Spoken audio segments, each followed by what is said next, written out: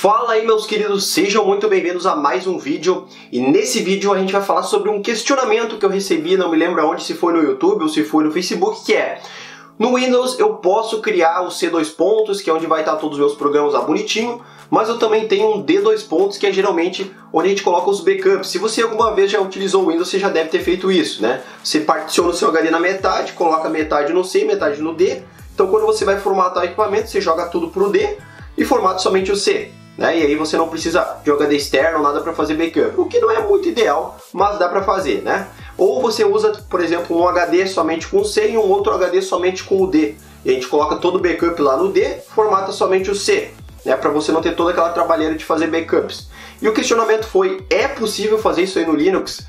É possível, mas tem algumas particularidades. Mas antes de começar esse vídeo, deixe seu like, deixe seu comentário, comente aqui uma sugestão de vídeo que eu posso fazer futuramente, tá? Eu tô pegando diversas sugestões, tô colocando em uma listinha e tô fazendo vídeo sobre todos eles, além de alguns outros conteúdos que eu também tô planejando, tá? E não esqueça de verificar os meus treinamentos. Dois treinamentos, LP Linux Essentials, treinamento completo para essa certificação e Shell Script profissional básico avançado, tudo aqui na descrição com cupom de desconto. Só clicar e adquirir e você vai estar ajudando o canal aqui a se manter firmezinho. Participe também das nossas redes sociais, Facebook, Telegram e Instagram. E beleza, como que eu posso fazer isso aí no Linux, tá? É, eu vou dar dois exemplos aqui que eu fiz ali numa máquina virtual, a princípio funcionou normalmente, que é um, você pode ter somente um HD, tá? Se você tiver somente um HD, você tem que formatar ele de uma forma diferente. Por quê? O Linux ele tem os diretórios em forma de árvore, então você tem o barra, dentro do barra você tem o barra home, barra etc e todos aqueles diretórios. Se você não viu, eu escrevi um post sobre todos os diretórios do Linux, está lá no meu blog, procura lá, File System Hierarchy que você vai encontrar, mas eu também vou deixar aqui na descrição, tá? Para você entender primeiro como é que funciona esses diretórios, tá? Existe um diretório que é o barra home, que é onde ficam todos os seus arquivos pessoais. Então, por exemplo, eu quero formatar tudo, mas eu não quero apagar meus arquivos pessoais, não quero fazer backup nem nada. O que você teria que fazer é criar uma partição separada somente para o barra home, tá? Então o que acontece? Quando você formata, você formata tudo o resto e deixa somente o barra home. E na, durante a instalação você fala, eu quero reaproveitar esse barra home. Então ele integra esse barra home nos outros novos diretórios. E aí você não perde esses arquivos. Isso é uma forma de fazer. E a outra forma é você ter um disco separado. Então você tem o disco 1 e o disco 2. No disco 1 você coloca todo o resto e no disco 2 você coloca somente o barra home. Então quando você faz backup, você coloca todos os dados ali, já está tudo no home mesmo, você formata só todo o resto. Inclusive eles podem ter sistemas de arquivos diferentes, um pode ser XFS, outro pode ser XT4, não tem problema, por quê? Porque são sistemas de arquivos diferentes, são discos diferentes, tá? Que não é indicado, tá? Não tô falando para você fazer isso aí, só tô falando que é possível fazer também. E o outro ponto que eu queria chegar aqui também é que é mais interessante você ter uma partição separada. Então você deixa lá todo o seu barra, home lá com tudo dentro, deixa tudo separado ali, o sistema interno, e você cria uma outra partição aqui com, sei lá, outra metade do seu disco, ou você usa um disco externo, mas cria uma outra partição e você integra essa partição lá no seu sistema. Coloca lá na FSTab, coloca para montar e cria um sistema de arquivos só de backup. Então, quando você precisar formatar, você só joga para dentro desse, dessa partição e formata todo o resto. Não mexe na parte interna do sistema, tá? Dá para fazer, dá para fazer das duas formas, tá? Então a gente vai fazer agora um exemplo para que você entenda melhor na prática isso aí, como que funciona essa lógica, tá? Se você não entendeu alguma coisa, já deixa um comentário aí que eu posso te responder. Então vamos para a prática agora. Bom, pessoal, então é o seguinte, eu vou tentar mostrar que mesmo que você não tenha nenhum conhecimento sobre Linux, ou seja, um conhecimento básico, eu vou tentar explicar aqui da forma mais, sei lá, didática possível, tá? Primeira coisa, eu tenho, eu tenho aqui uma máquina virtual com Ubuntu Server, tá? Não tem interface gráfica. Como ele ia ficar nessa resolução meio cocô aqui, eu coloquei um SSH e estou acessando ela remotamente, tá? Então aqui eu vou fazer os procedimentos nesse terminal, mas não se refere a esse equipamento, tá? Ele se refere à máquina virtual. Então é o seguinte, olha quantos discos eu tenho aqui. Eu tenho dois discos nesse ambiente. Eu tenho o SDA, que tem 8 GB, e o SDB, que também tem 8 GB. O que, que eu fiz nessa instalação? Eu criei três partições. Um, o SDA1, que é o meu barra, que é onde vai ser botado, tem todos os diretórios lá dentro e eu tenho o SDB, tá? O SDB que é o meu segundo disco, onde eu coloquei só o home. Eu coloquei todos os outros diretórios no primeiro disco e só o home no segundo disco. dá para fazer isso tranquilo, tá? Lembrando que esse aqui é só um exemplo de como você pode fazer. Dá para fazer no mesmo disco, dá para criar uma outra partição separada. Eu tô utilizando o home, que seria, digamos, a coisa mais difícil a se fazer. Com outra partição é muito mais tranquilo. Beleza. Ó, eu vou dar o comando df-h para você ver como que tá montado essas partições. Barra, ou seja, tudo que tem dentro do barra tá montado pelo SDA1, que é a primeira partição do primeiro disco tá? Tá usando 1.5 GB. Tranquilo. Depois eu tenho o barra home, que tá dentro do barra, só que eu coloquei numa partição separada. Ou seja, se eu formatar o barra, o barra home não vai ser modificado, ele vai continuar o mesmo. Tranquilo.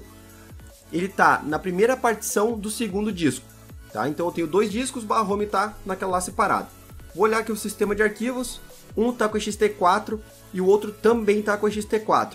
Eu vou fazer nesse exemplo, eu vou colocar em outro sistema de arquivos para você ver como vai funcionar tudo normalmente. O que, que você tem que se atentar nesse tipo de ambiente aqui, tá? Uh, eu tenho dentro do meu bar home somente o usuário Mateus. Tranquilo. Agora imagine o seguinte, eu vou formatar e eu vou colocar para criar um usuário lá durante a instalação que vai se chamar João. Esse João vai ter o barra home barra João. Ou seja, o barra home barra Mateus vai continuar lá, mas não vai ter nenhum usuário atrelado a ele. Então o que eu vou fazer nesse caso é, eu tenho barra home barra Mateus, né? Vou até entrar como Mateus aqui. Eu não tenho nenhum arquivo, vou criar vários arquivos, ó.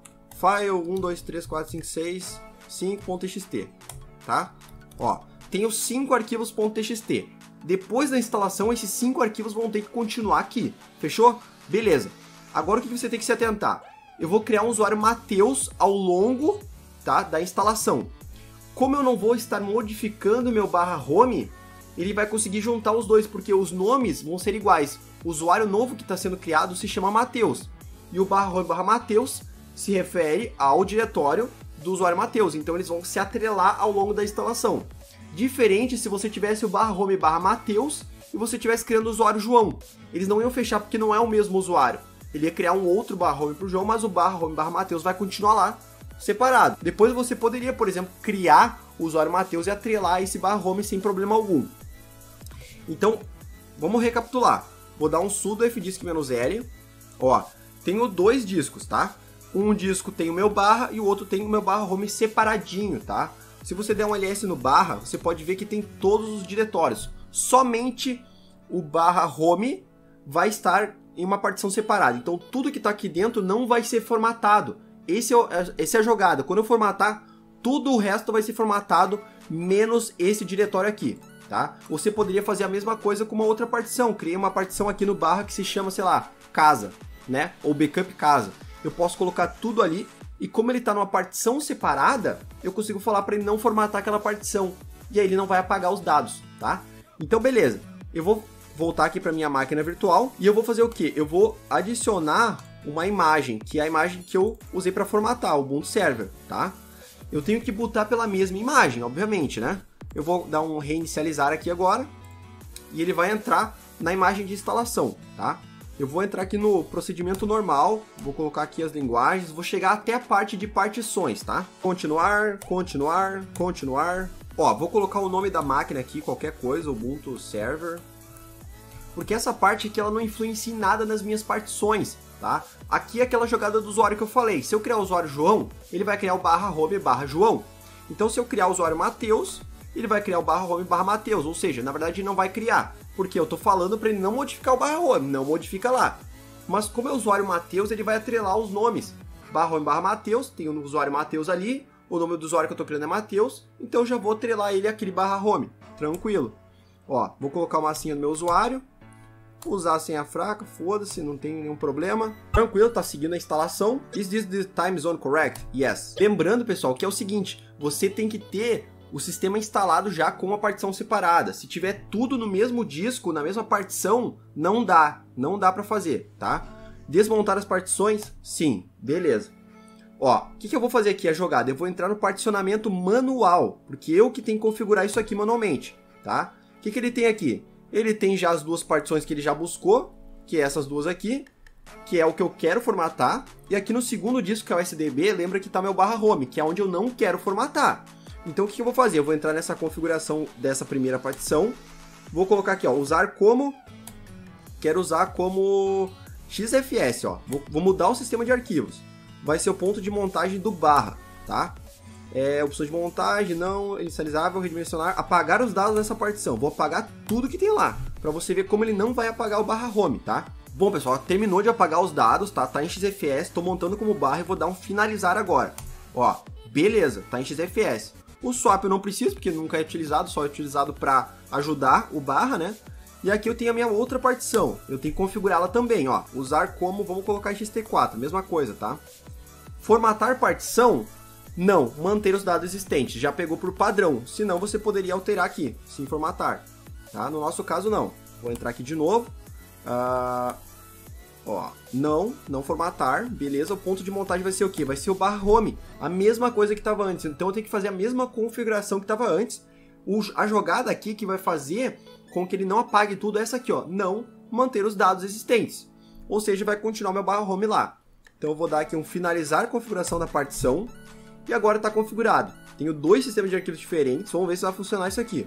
Finalizar o particionamento, escrever mudança no disco, yes, e vamos aguardar a instalação agora. Seguinte, galera, tá na última parte da instalação aqui, ele já tá instalando o Grub também na partição do barra, certo? Vai terminar a configuração de boot e a gente já vai poder iniciar o sistema. Instalação completa, agora é hora da verdade, rapaz. Ó, já desmontou a imagem, finalizando a instalação. Beleza, vamos ver o que, que vai acontecer agora. Ó, entrou no Grub, já é uma coisa boa, começou a carregar o kernel. Vamos ver o que vai acontecer. Opa, entrou na tela de login pelo menos. Vamos lá, Matheus, senha. Consegui logar com o usuário Matheus e ele entrou no barra home. PWD, tô no barra home barra Matheus. Vamos ver os arquivos? Opa, tá lá os meus arquivos, mesmo depois de formatar o meu equipamento, né? Aí que tá o ponto. Ó, vamos dar uma olhada nas partições. Desculpa se estiver muito pequeno aí a letra. Tô com os mesmos discos, disco primeiro, segundo disco. O primeiro disco tá com as mesmas partições e o segundo disco tá com as mesmas partições. O ponto é aqui, ó. Ó. Eu tô com o meu barra, que é um tipo XFS, e o meu barra dev barra SDB1, que é um XT4. Não é indicado fazer isso, tá, pessoal? Não façam isso. Usem o mesmo sistema de arquivos, tá? Uh, e aqui eu tenho o barra home, que eu não formatei, ou seja, ele continuou com todos os arquivos, tá? Inclusive, se a gente entrar aqui no barra home e der um ls, ele tem o lost and found que também estava ali antes. Vamos dar um ls-lh. O horário, meio-dia e 49. Olha o horário que é aqui, 1 e 3, tá? Então ele tá com os horários antigos ainda, tá tudo certo, funcionou normalmente, tá? Então, pessoal, só recapitulando, você tem que respeitar a estrutura de diretórios do Linux, tá? Por exemplo, no Windows você pode fazer o C2 pontos e um D2 pontos e ambos você instala programas em cada um deles. Eles são iguais, né? Já no Linux você não pode fazer, você não pode ter dois barras, não, não tem como. Você tem que ter um barra e dentro dele você pode criar daí um diretório que você vai colocar uma partição separada ou num disco separado, como é o meu caso. E aí é só você selecionar para não formatar essa, essa partição, né? Para isso você precisa ter ela na, separada. Por exemplo, se tivesse tudo no mesmo disco, tudo na mesma partição, só um disco de 8 GB, né? E não tivesse separado a partição, eu não teria como não formatar, porque se eu não formatasse, eu não formataria nada, não ia formatar o barra, não ia formatar o user, não ia formatar nenhum diretório. Então por isso que você precisa ter separado o que você não quer formatar, que você quer ter a opção de não formatar, você tem que ter ele separado em outro diretório, em outra partição, tá certo? Então, se você gostou desse vídeo, deixe seu like, deixe seu comentário aqui embaixo, veja os nossos cursos de Shell Script, de LP Linux Essentials, participe das redes sociais. É isso aí, um grande abraço e valeu!